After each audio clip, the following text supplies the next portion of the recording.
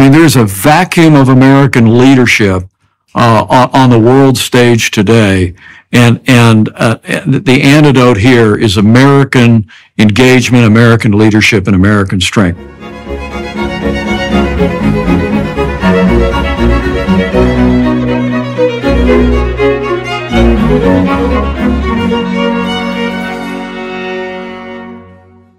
Hello, everyone watching and listening. Today I'm speaking with former Vice President and now 2024 presidential candidate Mike Pence. We discuss U.S. government overreach in economic matters when it should be playing referee, the indoctrination of our youngest citizens, how parents are being purposefully alienated from their children via ideological capture, the realistic way forward on the Russia Ukraine front, the loss of international respect due to our current administration, and how we might finally stabilize a nation wrought with cultural warfare.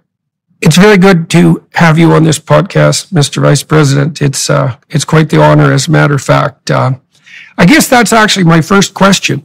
You know, this having presidential candidates sit down and do long form podcasts like this is it's a new it's new, uh, like it's one year new, really. So, what made you decide to take the risk, let's say, or take or grab the advantage or the opportunity to do a podcast with me.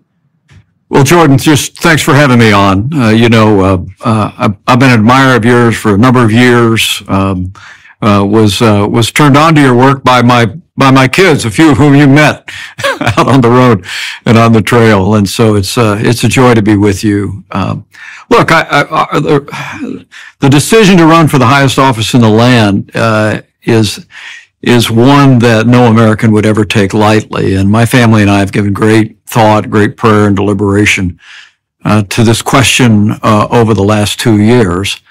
Uh, and frankly, ultimately, it comes down to two things. Number one, it's the privileges that we've had to serve, the experiences that we've developed. Uh, I was not only vice president serving America at home and abroad, but I was also a governor of a successful state in Indiana where we cut taxes and expanded educational choice. And before that, for 12 years, I was a leader of, of House conservatives uh, in uh, uh, the Congress of the United States. And uh, the, the sum total of that 20 years of experience gives us the confidence that if we were given the privilege of serving uh, as president of the United States that, that we'd be prepared. We'd prepared to bring this country back, which leads me to the second reason uh, why we should decided to run. And that was, uh, um, you know, I think this country's in a lot of trouble. I mean, as, as, I've traveled around the country over the last two years, it's, it's clear to me uh, that Joe Biden and the radical left uh, have weakened America at home and abroad. Uh, and and we need new leadership in the I believe in the Republican Party and uh, in the White House that'll set this country back on a path uh, of a strong national defense, of limited government, of a commitment to freedom and to traditional values. And uh, and it's in response to that. It's in the it's in the belief on which I, on which I was raised. I don't know if it made it in 12 rules, but it's an old rule in my life that to whom much is given, much will be required. And uh, my family and I have been given much. We've been given incredible privileges and opportunities to lead.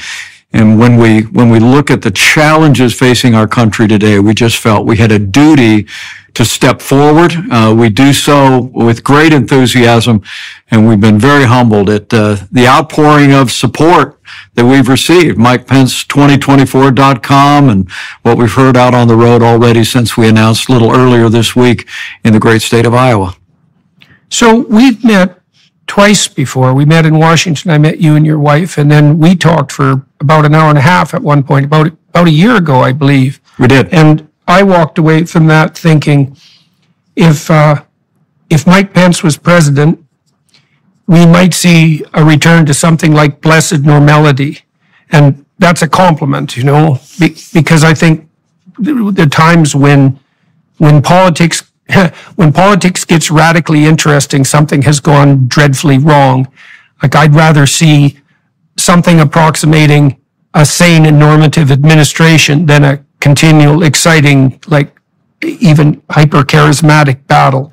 I think that's a sign of bad times. And so let me let me let me delve into uh, that a little bit. You just outlined your qualifications. Well, I, I'm very humbled by those words, and you know, it, it actually makes me think of uh, another time, maybe a century ago. And I'm not someone that looks backwards or wants to turn the clock back. We could stop that conversation uh, with anyone else now. But uh, you know, there was there was a season after World War One where. Um, uh, a Republican ticket stepped forward. Literally, their message was a return to normalcy. and I, I get a sense that the American people would like to get back to the policies that were advanced under a, a president I deeply admire, which was President Calvin Coolidge. Uh, he was someone that balanced budgets, he cut taxes, he oversaw an incredible time of American prosperity. But at the core of his philosophy was an often quoted Calvin Coolidge statement that the business of America is business. And, and by that, he, he meant the business of America is not the government itself, that, that the, the federal government should not, or the White House should not be the center of American life. And they actually, uh, Calvin Coolidge restraint and his, his uh, instinctive conservatism, uh, uh really set a tone that allowed for a period of incredible innovation in the country. That's where we heard all the incredible stories about progress and in manufacturing and industry. And, uh, and, and I, I hold, I hold to the view that, uh, that it's the free market. It's free enterprise. That's where the energy comes from. I grew up in a small business family. I, I know who makes this country go every day. And the government should be playing the role of, of the referee of the private sector uh, and, and not at center court with all the attention focused there. So let me, let me touch on something else that you, you, you touched on earlier you talked about the radical left. Now, I spent some time working with Democrats and I just interviewed Robert F. Kennedy and I asked him the same question that I've asked every Democrat I've met in the last five years. And the question I asked was, when does the left go too far? And I believe this to be true that none of the Democrats that I've spoken with, and we spoke in good faith and we had serious conversations, were able to or willing to answer that question. Now, you made a comment about the radical left, and so when do you think the left goes too far? And, what would you, what do you think if they are going too far? Th- those who are on the far left, like how do you identify that, and what do you think? What do you think might be? What's the appropriate response to that? Well, look, I've, I've, I've been at this a while, um, and uh, but but I never thought I'd live to see the day that that uh, socialism was the animating economic philosophy of one of America's two major political parties. You know, I like to say to people, uh, uh, Joe Biden won the nomination of his party in 2020, but uh, but Bernie Sanders won the party. I mean, all, the policies that you've seen flowing uh, out of the Democratic Party and out of the Biden administration are driven by European style socialism and welfare state policies and that's too far. I mean, as I said, this we're, we're we're a nation that was that was founded on the constitutional principles of a limited federal government, uh, uh, free enterprise, free market, private property. All of those things have been a wellspring, along with our faith, our family, as a foundation of of of of creating the strongest and freest, most prosperous nation in the history of the world. Uh, by far. And so that to me is a go too far. But I will tell you, this whole issue uh, of, uh, of, of, of advancing through uh, critical race theory in our schools, literally teaching our kids uh, to uh, uh, to to judge judge their peers not by the content of their character, but by the color of their skin. The opposite of the vision of the Reverend Dr. Martin Luther King Jr. And then beyond that, the the radical gender ideology that is afoot uh, in our schools and our universities and in the culture today, I think uh, I, I, think has uh, uh literally shocked the conscience uh, of many parents uh, who who might never identify with with mainstream conservative philosophies that we share and traditional values that we share, Jordan, but they find themselves struck. I mean, I. Uh, my foundation in Washington, D.C., uh, actually weighed in on a federal lawsuit the Linn-Mar Community Schools in Iowa require students to bring in a permission slip from their parents to get a Tylenol. Uh, but under the school policy, a student could get a gender transition plan from the health department at that high school without ever informing their parents. And uh, as I said uh, when we went to Iowa and spoke about it, that, that's not just bad policy, that's crazy. And I see parents, parents' rights groups are rising up all over the country uh, and and pushing back on uh, on the radical left's uh, effort to indoctrinate our kids uh, uh, about our history uh, and and and and also this this whole business of of of trying to trying to communicate this radical gender ideology. I think it's I think it's there's a wellspring of support pushing back on that. I think you're going to see see that show up in 2024. Yeah, well, two things on that. I would say the first, it was yesterday. Know, the National Health Service of the UK declared that they would no longer allow the use of puberty blockers except in re, for children except in research situations. And so I believe it's the UK, Finland, Norway, Sweden, and Holland have all dropped, and Holland is where this started, by the way, the Netherlands. They're dropping the gender affirming model of care. And so the second thing is, um, yeah, this is a question I've been trying to put forward to Republicans, particularly at the level of the governor. So, you know, the faculties of education in the United States and in Canada have a hammerlock on teacher certification.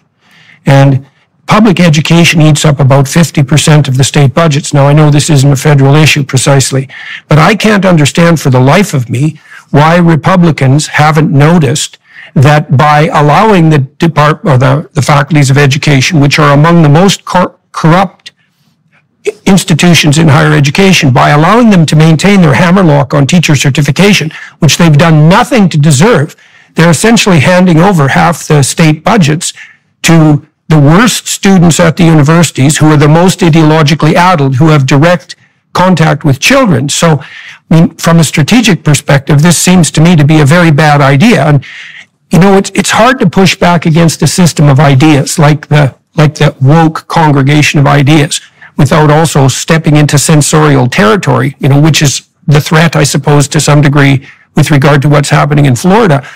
When you, when you think about strategy to forestall the narcissistic progressive agenda, what sort of strategies do you have in mind that could be employed at the federal level?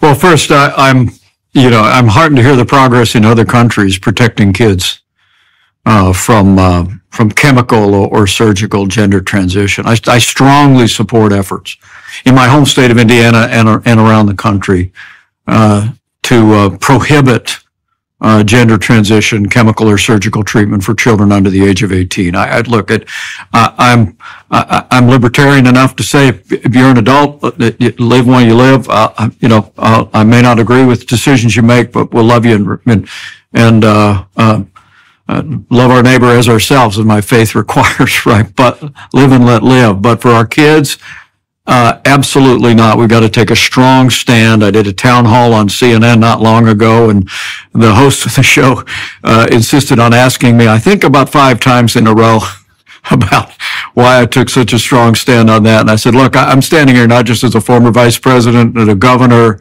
I'm, I'm a dad. I'm a grandfather. This is really about protecting our kids from making decisions early in their lives, but when they're not equipped to make them. There's a reason we don't let kids drive cars until they're 16 and uh, and you know you you can't even get a tattoo under the age of 18 in my home state. So there, this principle of protecting kids from cho- irreversible choices uh, and and you know and have spoken more eloquently than maybe anyone else about the deleterious effects. Now go back to your question because I think it's the fundamental question uh, and that is, so how do we push back? And I will tell you, I believe that giving parents the ability to choose where their children go to school, public, private, parochial, or homeschool, is the cure for what ails education in America. I think your point about teacher certification is a profound one, but I'm very struck by the fact that uh, someone who I'm sure you respect a great deal uh, in fact, a couple, Milton and Rose Friedman, maybe one of the great uh, free market economic minds of the last century. Uh, he left his entire estate to a foundation to promote one idea, and that was educational choice. Because Milton Friedman said, our form of government will not survive without an educated citizenry, and that the only power strong enough to, to transform and renew American education is the free market. It's a very simple idea. I'm proud to say the state of Indiana, Jordan, uh, was one of the pioneers in educational choice. We had, uh, we were home to the very first privately funded school voucher program in the country that's been replicated all over the country for decades. But when I was governor, we had a, we had a small educational choice program. I doubled it. I made it the largest in the country, but we just, I don't know if uh, if the viewers and listeners of your podcast know this, but we really turned a corner very recently in this debate when the state of Arizona, uh, under Governor Doug Ducey, in in the last year in office, passed the first ever universal school choice program in the country. Uh, the state of Indiana has essentially followed about 98 percent of people of our state now have educational choice. Iowa has followed. Other states are following.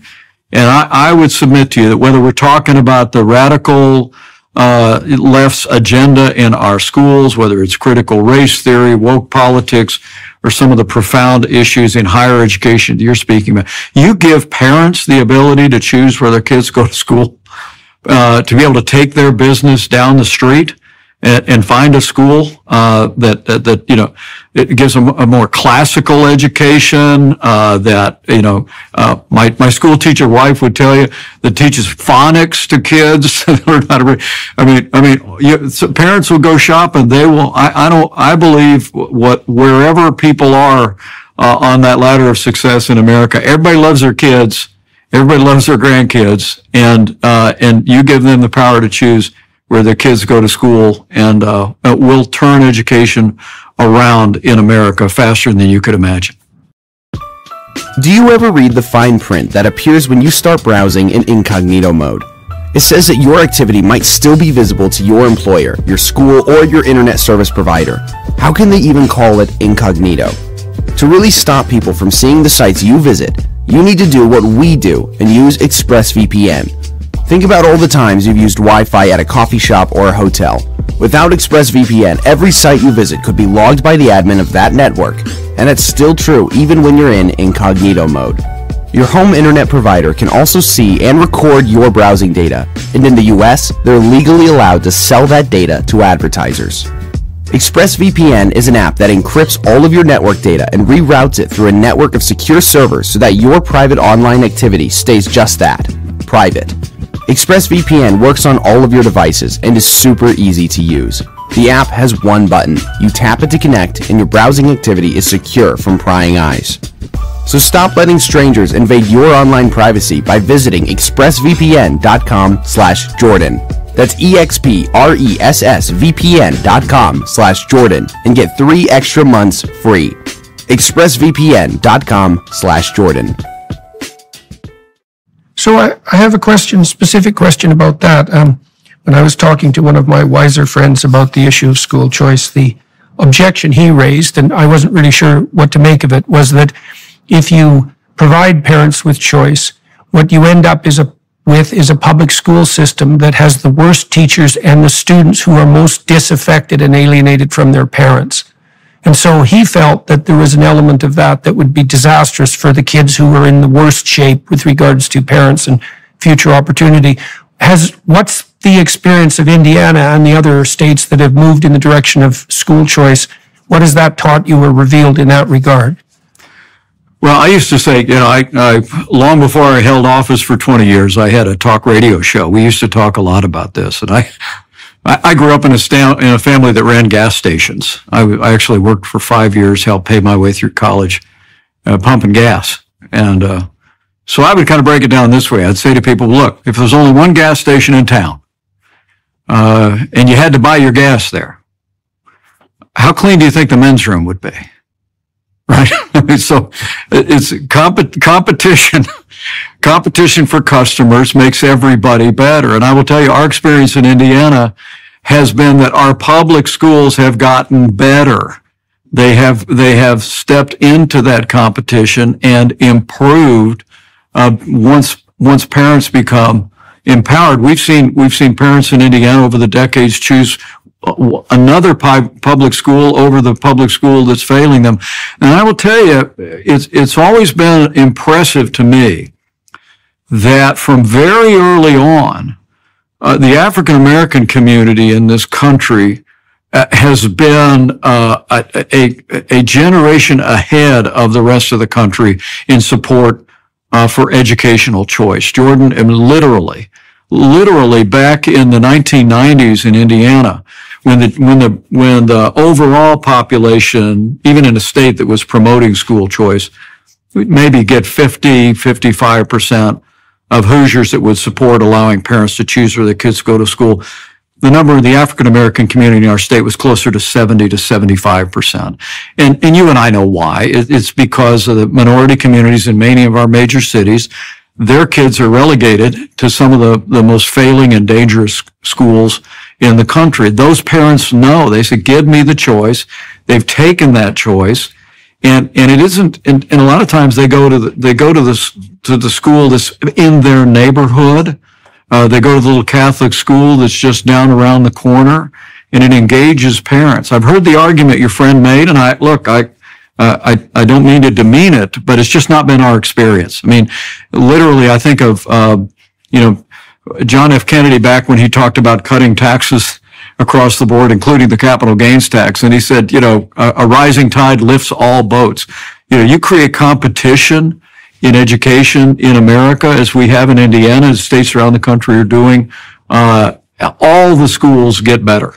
And uh, as someone who's married uh, to, to a woman that taught for 15 years in a public school, 15 years in a Christian school, I could tell you firsthand, there's a, there's a overwhelming majority that are teaching in our public schools are dedicated public servants, men and women that care deeply.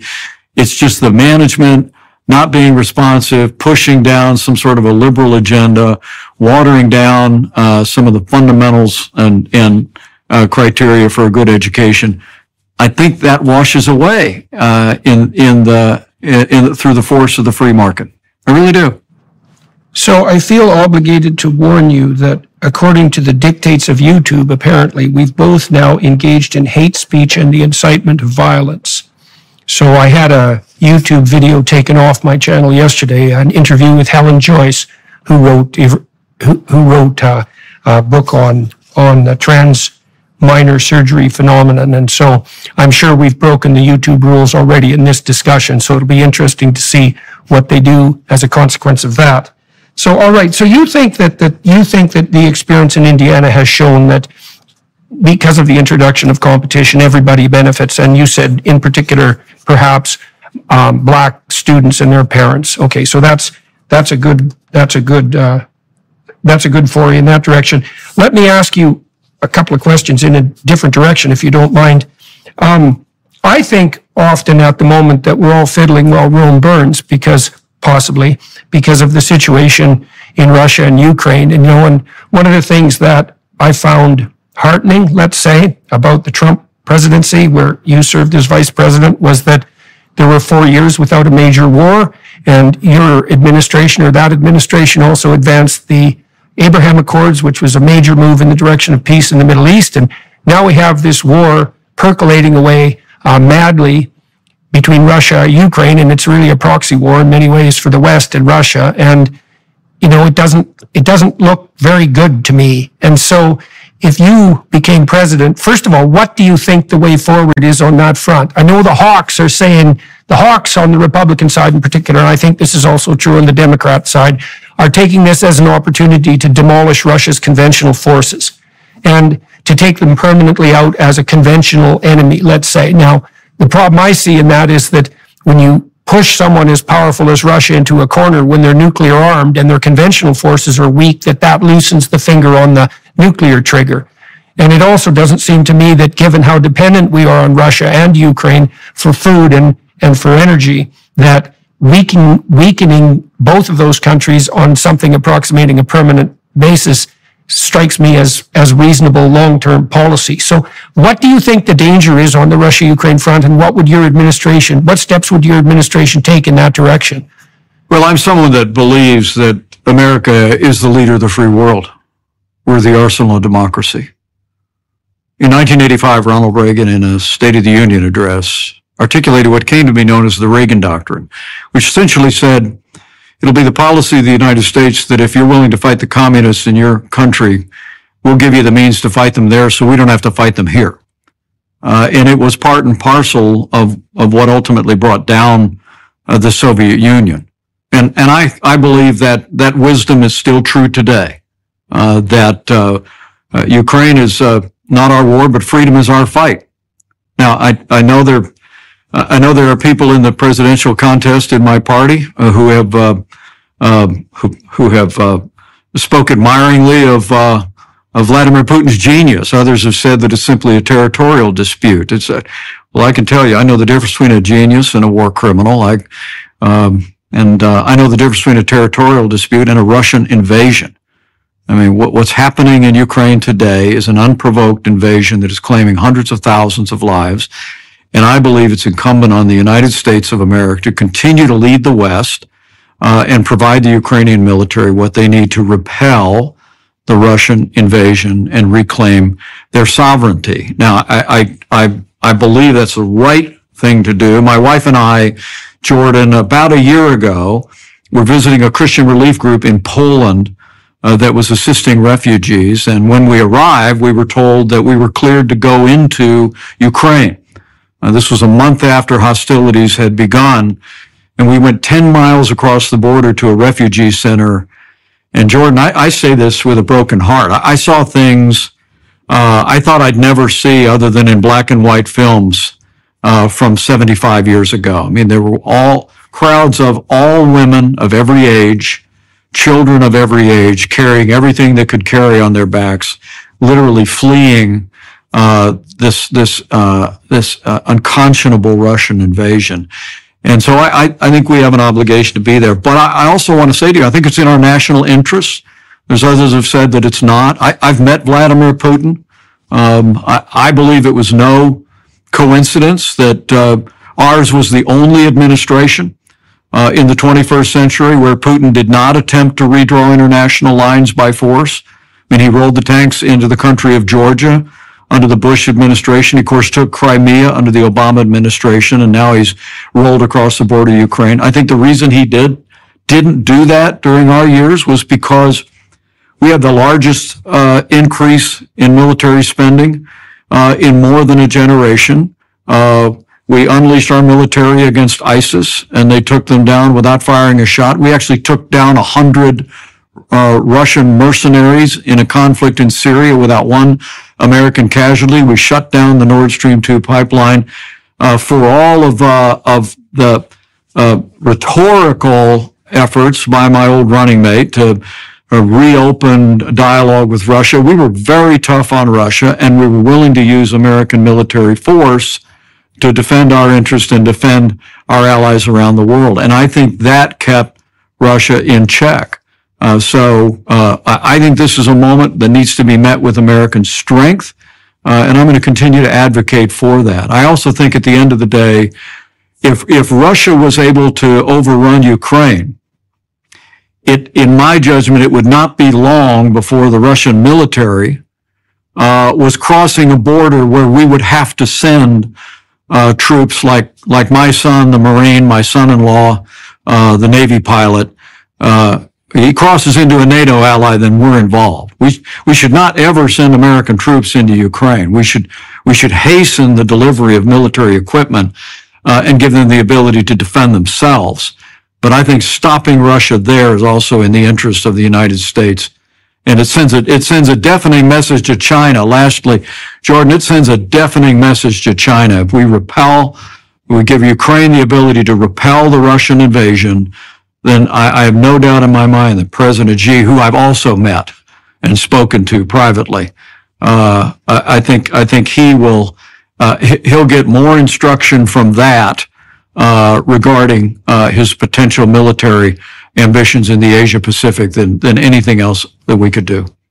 I was just informed your team wants 30 seconds to speak with you. Oh, I, my team doesn't need me. Oh, hi. Oh, it's just my wife said hi. Oh, Come over well, here, that's, Jared. that's a good, Step over. that's a good emergency. Yeah. Stick your head, you can see if you look at the screen. Karen Jordan. Pence, Jordan Peters. Hello, Nice to hello, see nice you. to see you again. Yeah, nice to see you. Hi. Good- Thank you for lending us your husband for an hour. talking to me. But anyway, hello. I told him the kids are big fans. That's how we got. it. Yeah. So let, let me ask you then more specifically, if the war in Russia plays out the way that would be most beneficial to the West, what, what's your vision for victory and the cessation of conflict? What is it, do you suppose, that Russia has to leave on the table or bring to the table in order to bring this war to a halt? Yeah, I just think, I think we have to support the Ukraine military till they repel this Russian invasion, uh, from across their borders. I, don't- I don't, now, I'll, I'll defer to, uh, President Zelensky and, uh, the government in Ukraine if they have a different view, but I think, I, I, think that giving them the means to push Russia out, uh, from, uh, where it commenced this invasion, uh, is absolutely essential to sending to sending a message uh, to the wider world um, that uh, that America is the leader of the free world, and we'll support those that are standing for their freedom and sovereignty. And, and do you think that would mean that the Russians would have to abandon the territory they took on, on the east? And also, what about the situation in Crimea? What do you see the post-war, what, I don't understand exactly what might constitute the post-war boundaries of Ukraine. Yeah, well, I If we- think If, if things worked out as well as they could. Well, I, I, again, I would leave that question, uh, which predated our administration, uh, to to the Ukrainian government. Um, uh, but with regard to this this invasion, this incursion, the Donbass region, I, I just don't think we can tolerate it. And let me also say, um, President Biden said in his State of the Union address that we're there as long as it takes. Uh, uh, Jordan, it shouldn't take that long. We're the arsenal of democracy. We've been dragging our feet on giving them equipment. Uh, we promised them 33 Abrams tanks uh, all the way back in January. They still don't have them. We've been dragging our feet on on giving them aircraft. Uh, you know, it was our administration that that that started back providing uh, military uh, resources to Ukraine. The Obama Biden administration had refused to provide any military resources. They were they were sending uh, blankets and MREs. We came in. We we provided them javelin missiles. We provided them resources that they were able to use in this fight uh, over the four years of our administration. And uh, uh, the Biden administration immediately ended that when they came in but at the initiation of hostilities started to catch up. And I want, to be clear, all of your viewers and, and listeners, uh, Joe Biden has been slow on the uptake. And I think that frankly, the disastrous withdrawal of Afghanistan created the conditions that embolden the enemies of freedom. Uh, now, Vladimir Putin's the one that's responsible for this unconscionable invasion, but I have no doubt in my mind that that disastrous withdrawal in Afghanistan uh, emboldened him to move, and uh, and and I, I I honestly believe that it's been the failed policies of the Biden administration uh, that are contributing to not only war in Eastern Europe, Chinese provocations, but but for heaven's sakes, Jordan, after we achieved uh, the first peace accord in nearly 30 years in the Middle East. Uh, the Biden administration did nothing to build on the Abraham Accords, sent, has sent ambiguous signals to Israel about our support, and then stood, and then stood idly by while China negotiated a treaty between Iran and Saudi Arabia. I mean, there's a vacuum of American leadership uh, on, on the world stage today. And, and, uh, the antidote here is American engagement, American leadership, and American strength. It also, it's also worth folks that are looking on knowing the Biden administration has been busy cutting military spending since day one.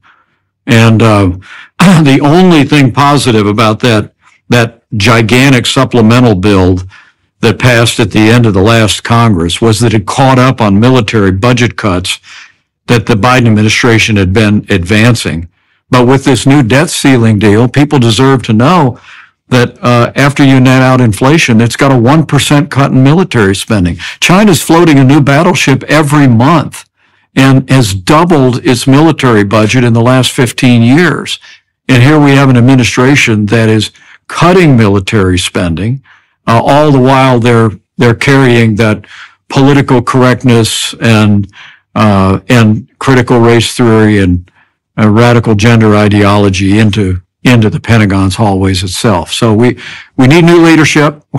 We need to be building a military that's fitted to the times. That's also the best way to ensure peace in the world. Always has been, always will.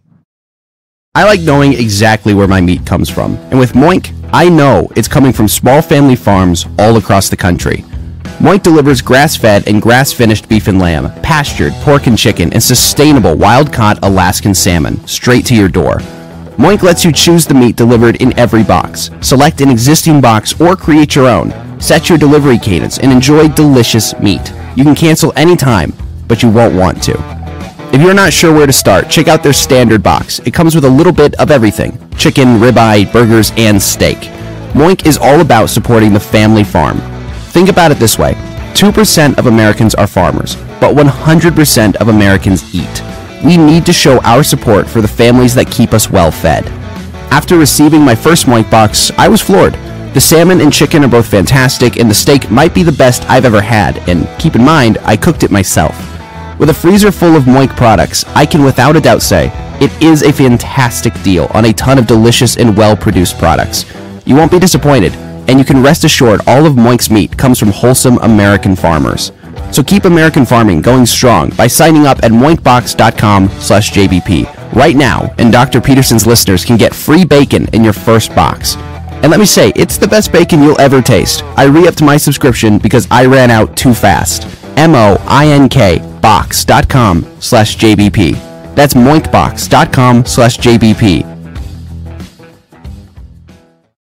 So your sense is that the best strategy for dealing with Russia and also sim- tell me if I've got this right, and also simultaneously Ch- China is to bolster the American military to ensure that Russia, uh, the, the sufficient aid is provided to Ukraine to stop Russia in its tracks, that that sends the proper message to China, um, that that would require further support for the American military, and that that's the best way to stop Russian adventurism. What do you think of arguments that Russia had felt threatened as a consequence of NATO incursion into Ukraine, and that a fair part of this conflict emerged because the Russians felt that they were being encroached upon by by the expansion of the NATO alliance and, and the potential inclusion of, of Ukraine into that domain. I mean, and you know, it's also the case that Putin certainly has appealed to his people on that front. He's also told his people that he is a buttress against the kind of woke ideology that we've also discussed. And so, um, well, those are all. And then the third problem, I suppose, is that I'm still concerned, understanding your argument, I'm still concerned that pushing the Russians into a corner where they become dangerously weak heightens the probability of, let's say, limited exchange of nuclear weapons on the battlefield. So you said we, we frighten China, we keep Russia at bay. I'm concerned about the fact that the Russians perhaps share some of the more conservative Western views with regard to the woke nightmare, and also that if we push them into a corner, they're more likely to have an itchy nuclear trigger finger. So well, I, I just honestly believe the NATO argument, the threat from NATO, that that's that's all just posturing by Putin. He's you carefully examine his public statements for years, Jordan. He's been very clear uh, that his ambition is to reestablish what was the old Soviet sphere of influence in Eastern Europe, uh, and so there's. I mean, look, the NATO has been a a peaceful alliance of the West. Uh, forged as it was in the aftermath uh, of World War II, and uh, uh, and and I I, uh, uh, I, I think there's one reason and there's one person to blame for the unconscionable invasion and war that's raging in Ukraine today, and that's Vladimir Putin. And we just simply need to hold him to account. With with regard to the fact that we never want to forget uh, that Russia is uh, uh, the second largest nuclear power uh, in the world, uh, I, I, believe we, we need to make it clear that our military support uh, for Ukraine is for repelling the Russian invasion in Ukraine uh, and restoring uh, their sovereignty. I think that it's absolutely essential that the commander in chief of the United States make it clear uh, to the Ukrainian military uh, and our alliance how far uh, our support goes. Uh, and and I think that that that making it clear that this is about reestablishing what's been claimed and not not intruding upon or uh, attempting to, uh, um, you know, move into the sovereign territory uh, of Russia is important. And uh, look, it's uh, uh, but this is this is statecraft. This is real, and I I just have to hold view that that weakness arouses evil but peace comes through strength. And I think that we, by electing a new president that understands that basic principle, that's able to marshal the support in the Congress to build a military fitted to the times, by, by hastening the support, if the war isn't already over, hastening the support of the Ukrainian military to repel the Russian invasion. I think the world quiets down very quickly. And again, I, I, the, the argument that I really reject is people that say, well, the, the real issue in the world today is China. Well, uh, uh okay, I, have met President Xi. I've, I've been to China. I, I'm, I'm a student of, of China's ambitions. I've met with all of our allies in the region. I understand uh, what China's up to um, uh, and, and how broad their ambitions are. But I also believe that uh, as you can see, the alliance has been forged between Xi and Putin. That that that Xi is looking very carefully at how the West responds uh, to Russia's attempt to redraw international lines by force. And while while it's continued its provocations even over the last two weeks with uh, with with uh, Navy ships at sea uh, in the Taiwan Straits and in the air uh, sending a message to them that uh, the free world will not tolerate redrawing international lines uh, by military force will will contribute greatly to to um, um, uh, tamping down uh, China's ambitions in the Asia Pacific. Do you two questions then? Do you think that Putin respects Biden as a negotiating partner, and do you think that Putin would respect you as a negotiating partner and maybe why to both of those questions?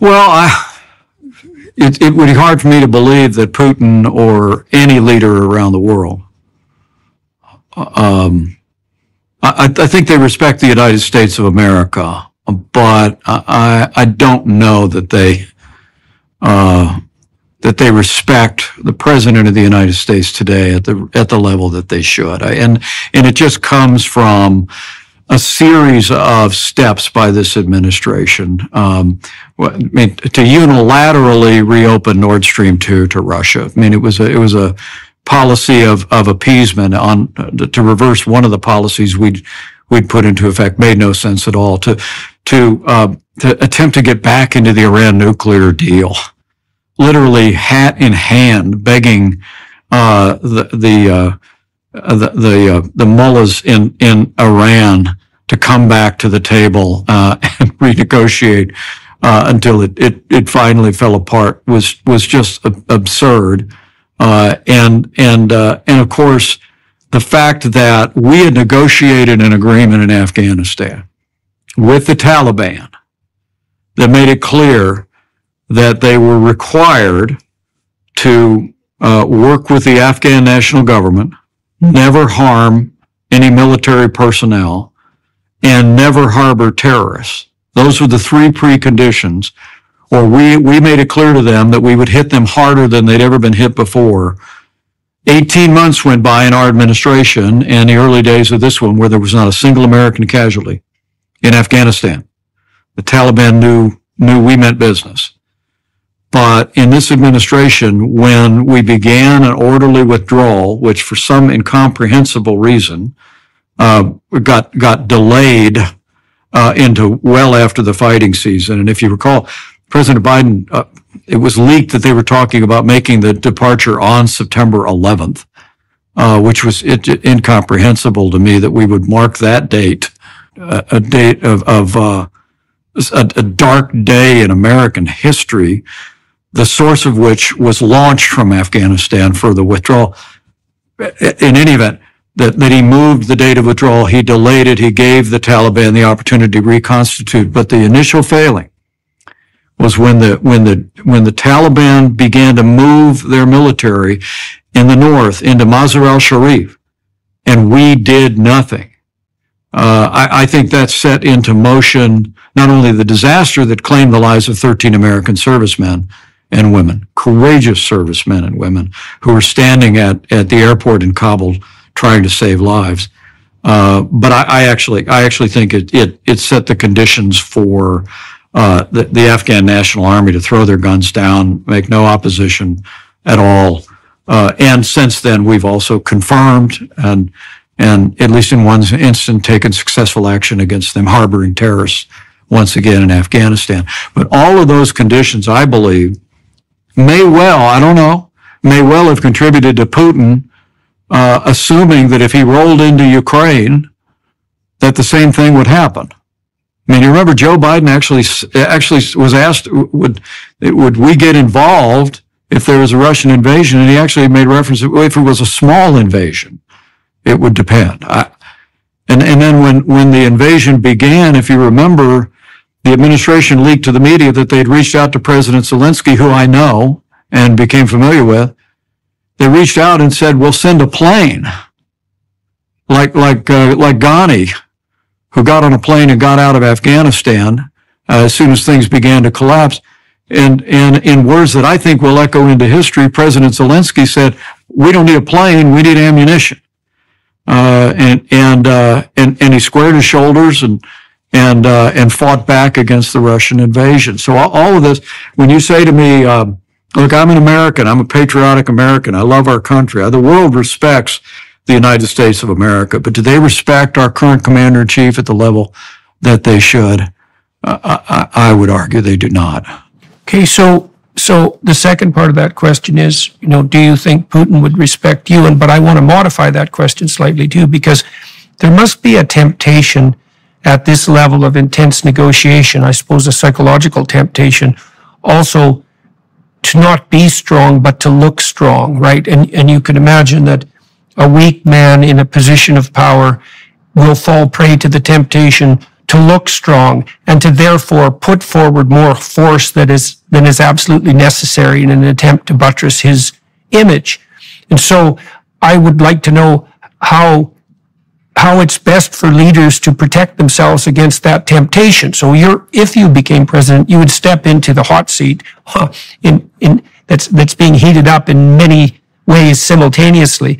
How do you protect yourself psychologically against the temptation to, you know, to, to beat your chest and be a strong man and, instead of trying to settle the situation internationally in the manner that's best for everyone going forward. And, and this, this pertains to the question of why Putin might regard you as a respectable negotiating partner. So let me, let me let you elaborate on that.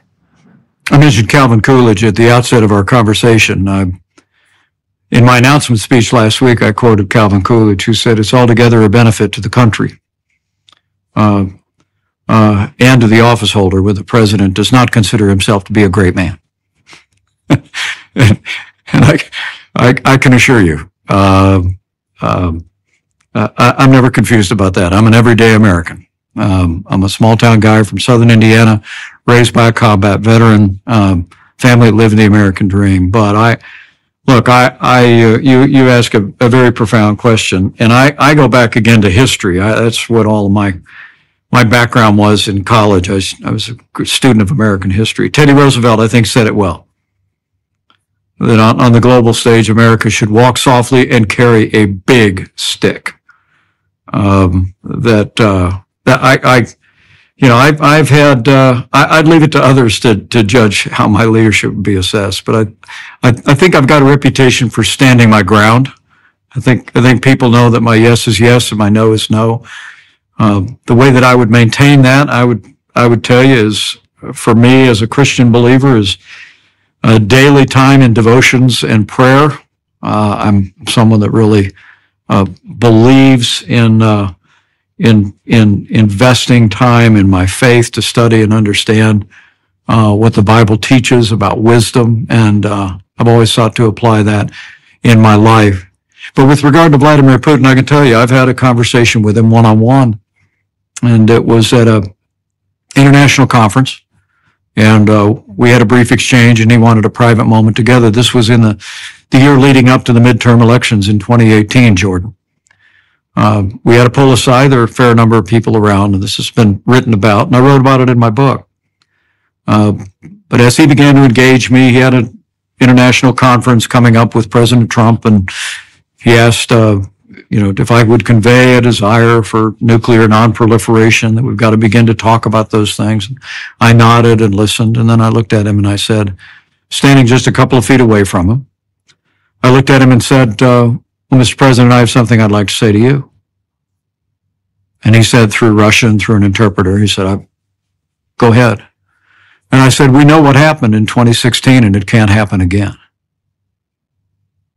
And with that, he, sure, he speaks perfect English. With that, he feigned that he didn't understand uh, my statement and, um, uh, and, he, and he turned to his foreign minister, Lavrov, who was standing nearby, and Lavrov said in English, elections. I mean, look, in the 2016 election, uh, the Russians did not interfere on behalf of any particular candidate. They interfered across the board. It's what they do in Western countries. They, they sow dissension and misinformation. And, and we know for a fact it happened. And I'd said so publicly. But so he turned back to me after Lavrov said, uh, elections, um, and said, uh, through Russian, he said, no, that wasn't us. We, we had nothing to do with that. That wasn't us. And I, I nodded and said, uh, Mr. President, I'm very aware of what your public position is on this. But I'm telling you, we know what happened in 2016 and it can't happen again. At, at that point, he, uh, he shrugged, did a half nod, and um, the conversation moved on. I mean, that's really, really where it begins, I think, between heads of state. And I've been able to represent the United States on the world stage.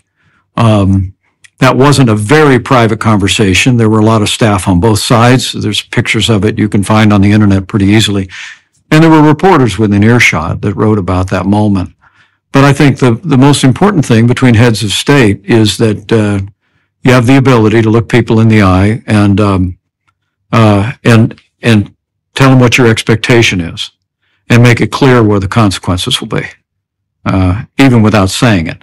And uh, I, I, would tell you that if I had the great privilege of being president of the United States, I'd I, would look for friends all over the world for the United States. I'd look for opportunities for peace, but uh, um, you know, I'd, I'd always uh, I'd have one hand extended in friendship, and the other hand resting comfortably on the holster of the arsenal of democracy, uh, so that uh, those who are enemies of freedom around the world, who would threaten our people or threaten our allies, um, uh, would know uh, America means business. President Trump recently issued a warning from his Mar-a-Lago home. Quote, our currency is crashing and will soon no longer be the world standard, which will be our greatest defeat, frankly, in 200 years.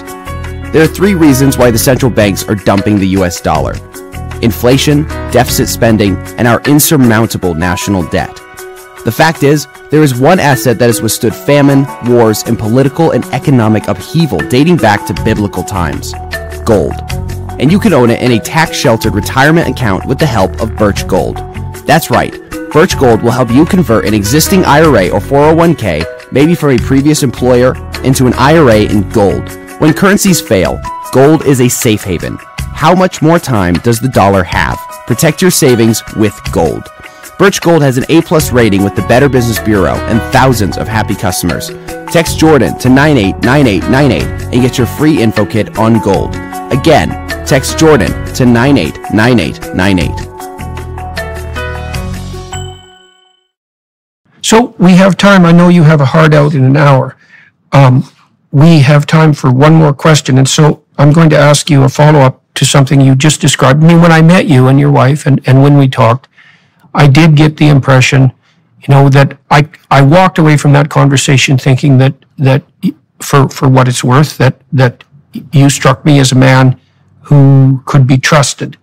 And I already made reference to the fact that I think you could bring a certain degree of admirable normalcy to the insanity that reigns at the moment.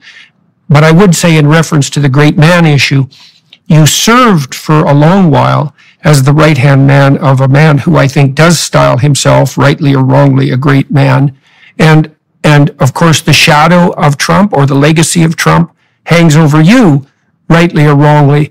Why is it that you served with Trump for so long? Why did you think that was in your best interest, his and the country's? And why do you now think that you would make a better leader than your than the former president? Well, first, let me say I'm humbled by your kind words. Uh, uh, my respect for you is boundless, and um, I'm grateful for those words. I'll share them with my wife when we break. Um, well, first, look uh, when when I got the phone call to join the national ticket or the a group of people being considered for it. Um, uh, I didn't expect it. I'd actually endorsed another candidate in the primary in Indiana, but uh, but Donald Trump had won the nomination, and uh, for me, uh, uh, the prospect of Hillary Clinton serving as president uh, for eight years following uh, the liberal and failed governance of, of uh, Barack Obama for eight years was an incredible threat uh, to the America that I had grown up in. I, I, I thought if we if we put 16 years of essentially a socialist agenda uh, in effect, uh, driving America toward a secular European style welfare state, my my children and grandchildren would not grow up in the America that I had grown up in. And so, for me, when the phone call came, uh, I had one of two questions I, that I said I would I would need to have answered. Number one, we need to know them better. We didn't know uh, either the president or his family at all, and everything the Pences do, we do as a family. And secondly, I said I'd want to know what the job description was, because only one person gets to write that job description every four years for the vice president. And so, um, I mean, my my attitude was. Uh, if, if we, if we felt there was a rapport that we could establish with them as a family, which we did almost immediately with them. Um, but if I, I felt like a job description would give me the ability to help the country, uh, first by defeating Hillary Clinton and secondly by advancing a conservative agenda, um, uh, I, I, I was anxious to do that. And once he, once he explained to me that the role of the vice president in his mind would be an active role, it'd be active in the legislative process, active in even interviewing appointments to the Supreme Court, active around the country, promoting our policies, active around the world, representing America. When the phone call came, Jordan, I said yes in a heartbeat. And I will tell you, I'm incredibly proud of the record of the Trump Pence administration. I mean, uh, I mean, my old running mate promised to govern as a conservative, and we did. We, we cut taxes, rolled back regulation, three justices to the Supreme Court that just gave America a new beginning uh, for life. We rebuilt our military, created the first new branch of our armed forces. We secured the southern border of the United States of America. And as you've said many times in this conversation, uh, the world was much more peaceful and, uh, and, and, uh, and ISIS was destroyed and, uh, the most dangerous terrorist in the world was taken out. It's all a record I'm incredibly proud of. Um, in fact, as I'll share again here in North Carolina today, I, some people might wonder why I'm running against my former running mate. Um, in the wake of how proud I am of that record. Some in this field are already criticizing our record. It's their right to do that. Um, but I'll, I'll battle them on that too. But for me, it came down to the promise that I made when I took my oath of office and the overall direction of the party. As I said in my announcement speech, uh, when I raised my right hand, I swore to the American people and to Almighty God that I would support and defend the Constitution of the United States. And on that fateful day, January 6th, uh, President Trump um, uh, asked me to choose him over the Constitution. But I thought my duty was clear and still believe it was, that I was I was there under the Constitution to preside over a joint session of Congress, to open and count the votes that had been certified by the states, reviewed by the courts, and would be debated in objections in the Congress. But our job was to open and count, no more, no less.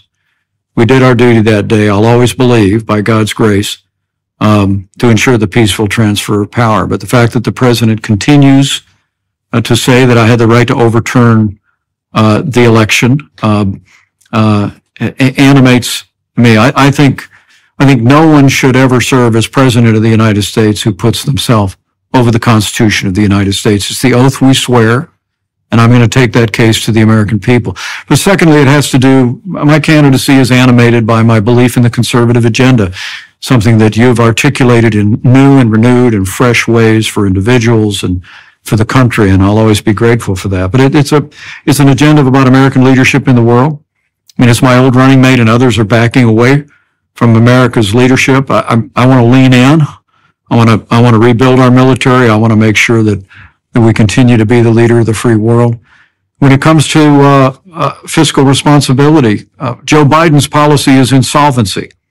I mean, we have a national debt the size of our nation's economy, and Joe Biden won't even talk about uh, the entitlements that represent 70% of the federal budget and growing. We are headed to a debt crisis, the likes of which the world has never seen. And Joe Biden refuses to talk about it, but my old running mate refuses to talk about it. I mean, Joe Biden and Donald Trump have the exact same policy on entitlement reform. And many Republicans as well in this field also shy away from talking about it.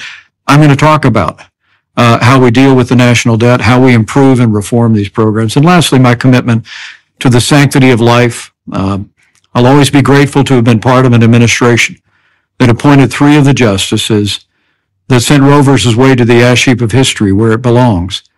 Uh, but now in this new season, this new era for life, just at this moment when we can work to expand protections for the unborn, protections for women in crisis pregnancies, support for newborn, some in our party, including my old running mate, are shying away uh, from standing firm out of uh, concern for its impact on politics. Um, I, I, don't believe that. I, I believe if we stand firm with compassion and principle, the American people will rally to our cause. But uh, but even if they did not, I think the cause of life is the calling of our time, the sanctity of life, being restored to the center of American law. I think must remain uh, an objective of the Republican Party. And uh, so for all of those issues, uh, it's what brings me to this fight. But uh, that was why I joined the ticket to begin with. And no regrets, no regrets. I'm grateful for what we did, were able to do for the country. Uh, I was I was sorry it came to the end that it came to, but uh, I'm absolutely convinced if we'll keep our party and our country on course of the same policies that minted our movement starting back in the days of Ronald Reagan and going forward, uh, that uh, will restore this country, will uh, will secure our nation. America will be stronger and more prosperous than ever before. So help us God. All right, sir. I'm, I swore to your staff that I would ensure that this podcast lasted no longer than its deemed time. And that was a really good place to end, I would say. And so thank you very much for taking the time to talk with everyone who's watching and listening today and with me. It's a, a privilege to be involved in the election campaign in the manner that I am. And I certainly appreciate your time and attention, as I do appreciate the time and attention of everyone who's watching and listening. And so perhaps, sir, sometime in the future, you've got a whole year on the campaign trail, we can sit down and have a further discussion. There were lots of other Pandora's boxes that we could have opened, but we covered a fair bit of territory usefully today. And so once again, I'd like to express my appreciation for your willingness to sit and talk with me. I'll look forward to it, Jordan Peterson, and God bless you for your matchless voice. Ciao, everyone. Yep. Bye bye, sir.